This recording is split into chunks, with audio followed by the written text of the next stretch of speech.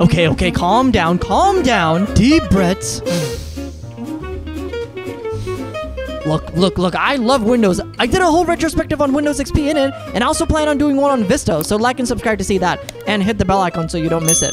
But today, as of right now, Apple is fortunately or unfortunately dominating the laptop market at least. Their benchmarks are blowing other computers out of the water, and it wasn't always like this. For a long time, MacBooks sucked at power tasks, staying cool under lows, or shutting the f up during peak processes. So today, I just want to examine what is that secret sauce that is causing Apple to lead the pack. For now. Look at this MacBook. Looks like just another MacBook, right? But it's not.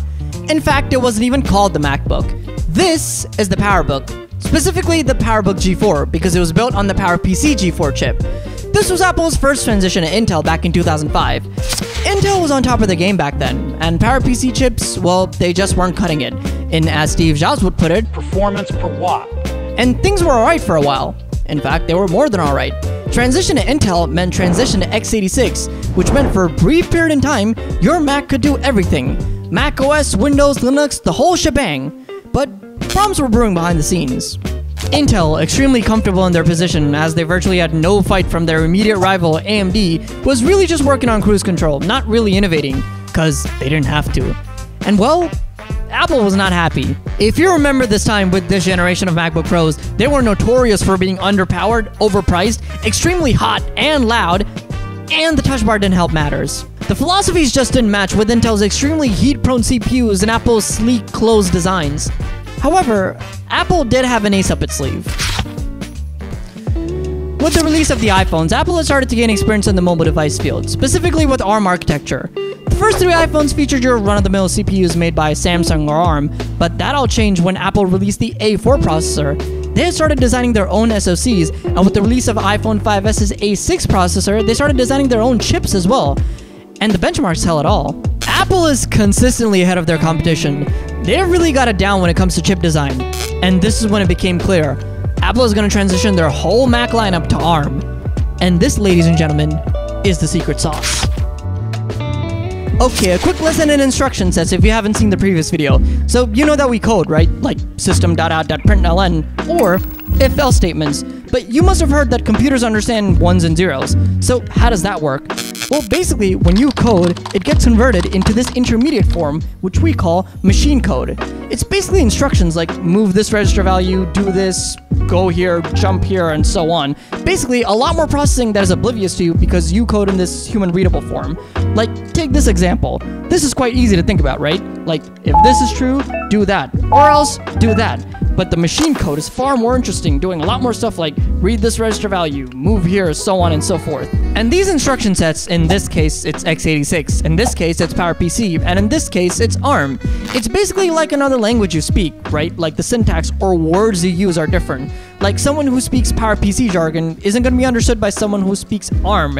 And when you compile, let's say C++, what is that compiling doing? It's basically converting all this crap that you've written into the correct machine code, whether that be x86, ARM, or PowerPC. Just a quick side note, what Rosetta is doing is taking x86 machine code which was written for Intel Macs and converting it to ARM so that your M1 or M2 Macs can understand it.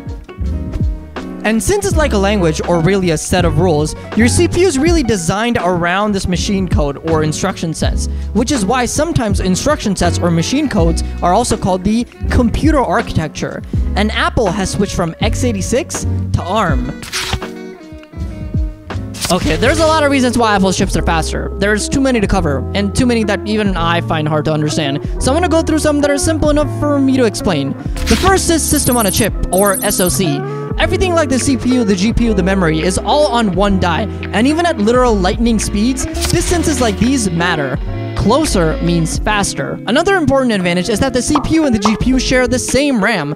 A lot of times your big-ass gaming PCs have a CPU and a separate GPU, and while that's great for heat management, it also means a lot of times data has to be copied from the CPU RAM to the GPU RAM, and that costs precious time.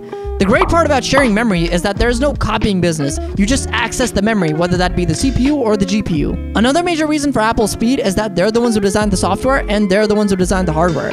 macOS is probably purpose built on a very low level to take maximum advantage of the M1 or the M2 chips.